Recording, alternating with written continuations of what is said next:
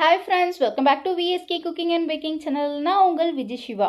இன்றைக்கி ரொம்ப சிம்பிளான ஹாஃப் கேஜி பைனாப்பிள் கேக் எப்படி சேர்த்துன்னு பார்க்க போகிறோம் இந்த கேக் ஆர்டர் பார்த்தீங்கன்னா சடனாக வந்த கேக் ஆர்டர் கஸ்டமர் வந்து ஆஃப்டர்நூன் ஆர்டர் கொடுத்துருந்தாங்க. ஆனால் நைட்டுக்கு வேணும்னு கேட்டிருந்தாங்க.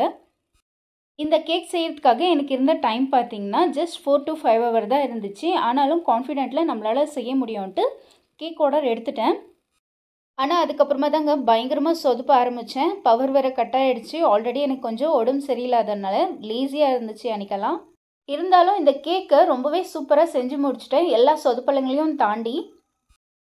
ஃபர்தர் டிலே வீடியோக்குள்ளே போயிடலாம். சேனலுக்கு இன்னும் சப்ஸ்கிரைப் பண்ணதை பார்க்குறீங்கன்னா ப்ளீஸ் சப்ஸ்கிரைப் பண்ணி சப்போர்ட் பண்ணுங்கள் பெல் ஐக்கான் கிளிக் பண்ணுங்கள் அப்போ தான் போகிற ரெகுலர் வீடியோ நோட்டிஃபிகேஷன் வரும். வாங்க வீடியோக்குள்ளே போகலாம். ஃபர்ஸ்ட் எப்போதும் போல் பவுலில் ஜல்லடை சேர்த்து அரை கப் மைதா சேர்த்து அரை டீஸ்பூன் பேக்கிங் பவுடர் கால் டீஸ்பூன் பேக்கிங் சோடா சேர்த்து நல்லா ஜலிச்சு எடுத்துக்கலாம். இது ஒரு ரெண்டுலேருந்து மூணு டைம் வரைக்கும் ஜலிச்சு எடுத்துக்காங்க. ஃபஸ்ட் டைம் ஜலிச்சு எடுத்துட்டேன். இது செகண்ட் டைம் ஜலிச்சுட்டு இருக்கேன். இந்த மாதிரி ஜலிக்கிறதுனால கேக் நல்லா ஈவனாக பேக் ஆகி வரும். நம்ம சேர்த்துருக்கிற பேக்கிங் பவுடர் பேக்கிங் சோடா எல்லாம் மாவில் நல்லா கம்பைன் ஆகிறதுக்காக தான் இந்த மாதிரி ரெண்டுலேருந்து மூணு டைம் ஜலிச்சு எடுத்துக்கணும். இப்போ ரெண்டு டைம் ஜலிச்சு முடிச்சிட்டேன். இது தேர்ட் டைம் ஜலிச்சுட்டு இருக்கேன். இப்போ ஃபுல்லாக ஜலிச்சு முடிச்சுட்டு இது சைடில் வச்சிடலாம். இப்போ நம்மளோட ட்ரை இன்க்ரீடியன்ட் ரெடி பண்ணிட்டோம். இது சைடில் இருக்கட்டும். இப்போ வேற ஒரு மிக்சிங் பவுலில் ரெண்டு முட்டை ஒடிச்சு ஊற்றிக்கிறேன் ஒரு ஒரு முட்டையாக ஒடிச்சு ஊற்றிக்கோங்க இப்போ ரெண்டு முட்டையுமே மிக்சிங் பவுலில் சேர்த்துட்டேன். இப்போ இது எலக்ட்ரிக் பீட்டர் யூஸ் பண்ணி லோ ஸ்பீட்லேருந்து பீட் பண்ண ஸ்டார்ட் பண்ணுறேன் நீங்கள் ஒயர் விஸ்க் கூட யூஸ் பண்ணலாம். ஒயர் விஸ்கில் பீட் பண்ணும்போது கொஞ்சம் டைம் எடுக்கும். இப்போ பீட் பண்ணி ஒரு ஃபைவ் மினிட்ஸ் ஆகிட்ட பிறகு அரை கப் அளவுக்கு சுகர் கொஞ்சம் கொஞ்சமாக சேர்த்துக்கிறேன். நான் பவுடர் பண்ணாத சுகர் தான் சேர்த்துக்கிறேன். உங்களுக்கு தேவைப்பட்டால் இதே அரை கப் அளவுக்கு சுகர் பவுடர் பண்ணி சேர்த்துக்காங்க. இப்போ இது நல்லா ப்ளஃபி ஆகிற வரைக்கும் பீட் பண்ணி எடுத்துக்கலாம். ஸ்பீடும் கொஞ்சம் கொஞ்சமாக இன்க்ரீஸ் பண்ணிக்காங்க. இப்போ பாருங்கள் நல்லா ப்ளஃபி ஆகிட்டு ரிப்பன் கன்சிஸ்டன்ஸில் வரணும். அந்த அளவுக்கு நல்லா பீட் பண்ணி எடுத்துக்காங்க. இப்போ பாருங்கள் இதுதான் ரிப்பன் கன்சிஸ்டன்சி இந்த மாதிரி நல்லா ப்ளஃபி ஆகிற வரைக்கும் பீட் பண்ணி எடுத்துக்காங்க. இப்போ ஒரு டேபிள் ஸ்பூன் அளவுக்கு ரீஃபண்ட் ஆயில் சேர்த்துக்கிறேன். கால் டீஸ்பூன் வெனிலா எசன்ஸ் கால் டீஸ்பூன் பைனாப்பிள் எசன்ஸ் சேர்த்து ஜஸ்ட் ஒரு டுவெண்ட்டி மினிட்ஸ் போல் பீட் பண்ணி எடுத்துக்கினா போதும். அதுக்கப்புறமா நம்ம ட்ரை இன்க்ரீடியன்ட் சேர்த்துக்கலாம். ட்ரை இன்க்ரீடியன்ட் கொஞ்சம் கொஞ்சமாக சேர்த்து கட் அண்ட் ஃபோல்ட் மெத்தடில் மிக்ஸ் பண்ணிக்காங்க. அது கூட ஒரு டேபிள் ஸ்பூன் அளவுக்கு பால் சேர்த்துக்கிறேன்.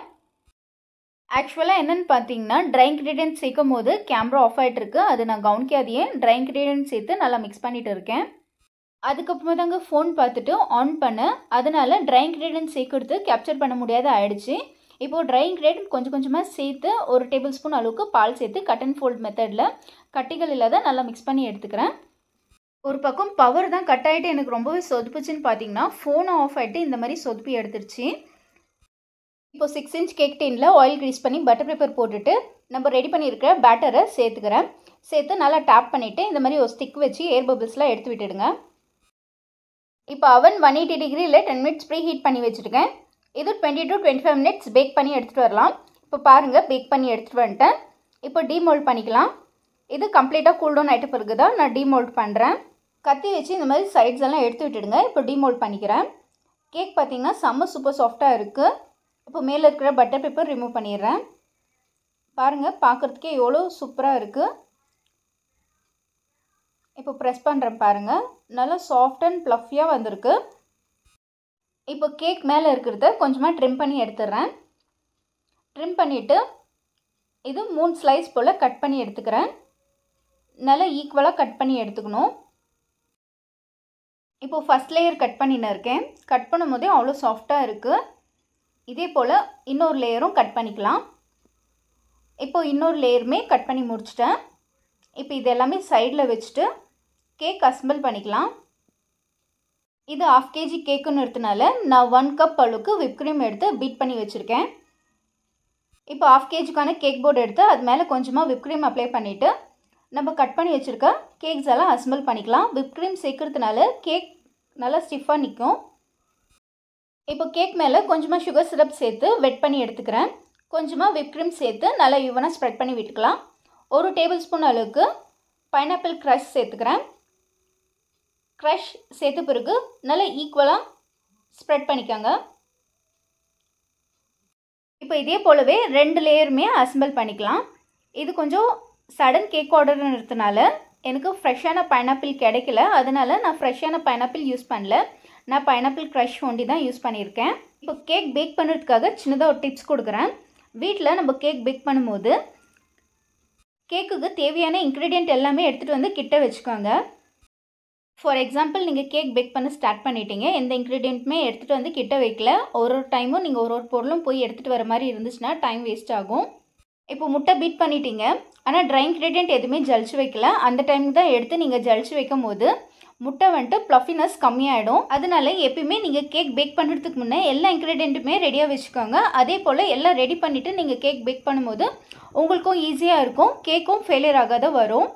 இப்போ கேக்லாம் அசம்பிள் பண்ணி முடிச்சிட்டேன். இப்போ க்ரம் கோட் கொடுத்துட்டு இருக்கேன். கொஞ்சமாக விப்ரீம் எடுத்து க்ரம் கோட் கொடுத்து எடுத்துக்கிறேன். சேனலில் இதே போல் நிறைய கேக் ரெசிபிக்கான வீடியோஸ் இருக்குது தேவைப்படுறவங்க செக் பண்ணி பாருங்கள் மேலே லிங்க் கொடுத்துருக்கேன். இப்போ க்ரம் கோட் முடிச்சுட்டு ஹாஃப் அன் ஹவர் ஃப்ரிட்ஜில் வச்சு செட் பண்ணிவிட்டு அதுக்கப்புறமா எடுத்து ஃபைனல் கோட் கொடுத்துக்கலாம். இப்போ ஃப்ரிட்ஜில் வச்சு செட் பண்ணிவிட்டு ஃபைனல் கோட் கொடுக்குறேன். கொஞ்சமாக விப் க்ரீம் எடுத்து நல்லா ஈவனாக ஸ்ப்ரெட் பண்ணிக்காங்க. நிறைய பேருக்கு நிறைய கொஸ்டின்ஸ் இருக்கும். ஏன் ஷாப்பில் கேக் வாங்கக்கூடாது? ஏன் ஹோம் பேக்கர்ஸ் கிட்ட தான் வாங்கணுமான்ட்டு? ஷாப்பில் வாங்குற கேக்குக்கும் ஹோம் பேக்கர்ஸ் கிட்ட வாங்குற கேக்குக்கும் நிறைய டிஃப்ரென்ஸ் இருக்குது சீரியஸாக ஷாப்பில் எப்படி செய்கிறாங்கன்னு எங்களுக்கு தெரியாது. ஆனால் ஹோம் பேக்கர்ஸ் எல்லாருமே நாங்கள் எப்பயுமே ஃப்ரெஷ்ஷான இன்க்ரீடியன்ட் ஒண்டி தான் யூஸ் பண்ணுவோம். ஃபார் எக்ஸாம்பிள் நாளைக்கு கேக் ஆர்டர் இருந்துச்சுன்னா அதுக்கு ஒரு நாளைக்கு முன்ன தான் கேக் பேஸ் ரெடி பண்ணி அதுக்கப்புறமா ஐசிங் பண்ணுவோம். அதே போல் ஹோம் பேக்கர்ஸ் ரொம்பவே ஹைஜீனிக்காக செய்வாங்க. ஃபுட் கலர்ஸ்லாம் கூட கொஞ்சம் குவாலிட்டியாக தான் யூஸ் பண்ணுவோம். அதனால ஹோம் பேக்கர்ஸ்க்கு சப்போர்ட் பண்ணி என்கரேஜ் பண்ணுங்கள் உங்கள் வீட்டுக்கிட்டேயும் யாருன்னா ஹோம் பேக்கர்ஸ் இருந்தால் அவங்கக்கிட்ட ஆர்டர் ப்ளேஸ் பண்ணுங்கள் கேக் இப்போ ஃபைனல் கோட் கொடுத்துட்டு பைனாப்பிள் ஜெல் வச்சு ட்ரிப்பிங் பண்ணின்னு இருக்கேன். இப்போ ட்ரிப்பிங் பண்ணி முடிச்சுட்டேன். இப்போ சிம்பிளான டிசைன் ரோசல் டிசைன் கொடுத்துட்டு இருக்கேன். பைனாப்பிள் ஜெல் நான் வெறும் சைட்ஸில் ஒண்டி தான் கொடுத்துருக்கேன். சென்டரில் கொடுக்கல. ரொம்ப சிம்பிளாக தான் டிசைன் பண்ணிக்கிறேன். நாங்கள் இருக்கிற லொக்கேட்டட் பார்த்தீங்கன்னா பெங்களூர். பெங்களூரில் உங்களில் யாருக்காவது கேக் ஆர்டர்ஸ் வேணும்னா கண்டிப்பாக காண்டாக்ட் பண்ணுங்கள் காண்டாக்ட் நம்பர் டிஸ்கிரிப்ஷன் பாக்ஸில் கொடுத்துருக்கேன். தேவைப்படுறவங்க செக் பண்ணி பார்த்துட்டு கேக் ஆர்டர் ப்ளேஸ் பண்ணலாம். இப்போ ரோசல் டிசைன் கொடுத்துட்டு லீவ்ஸ் க்ரீன் கலரில் கொடுத்துக்கிறேன். அவ்வளோதான் ரொம்ப சிம்பிளான பைனாப்பிள் கேக் ரெடி இது மேலே கொஞ்சமாக செரி பழமும் அரேஞ்ச் பண்ணிக்கிறேன். கொஞ்சமாக சுகர் பால்ஸும் ஸ்ப்ரிங்கிள் பண்ணிக்கிறேன். அவ்வளோதான் ரொம்ப சிம்பிள் டிசைனில் பைனாப்பிள் கேக் ரெடி பண்ணிட்டோம். கண்டிப்பாக நீங்களும் ட்ரை பண்ணி பார்த்துட்டு கமெண்ட் பண்ணுங்கள் இந்த வீடியோ பிடிச்சிச்சுன்னா மறக்காத ஒரு லைக் கொடுத்துருங்க சேனலுக்கு இன்னும் சப்ஸ்கிரைப் பண்ணாத பார்க்குறீங்கன்னா ப்ளீஸ் சப்ஸ்கிரைப் பண்ணி சப்போர்ட் பண்ணுங்கள் பெல் ஐக்கோன் கிளிக் பண்ணுங்கள் அப்போ தான் போடுற ரெகுலர் வீடியோ நோட்டிஃபிகேஷன் வரும். வீடியோ பிடிச்சிச்சுன்னா மறக்காத ஃப்ரெண்ட்ஸ் அண்ட் ஃபேமிலிக்கும் ஷேர் பண்ணுங்கள் நெக்ஸ்ட் இன்ட்ரெஸ்டிங்கான வீடியோவில் பார்க்கலாம். தேங்க்யூ ஃபார் வாட்சிங் ஃப்ரெண்ட்ஸ்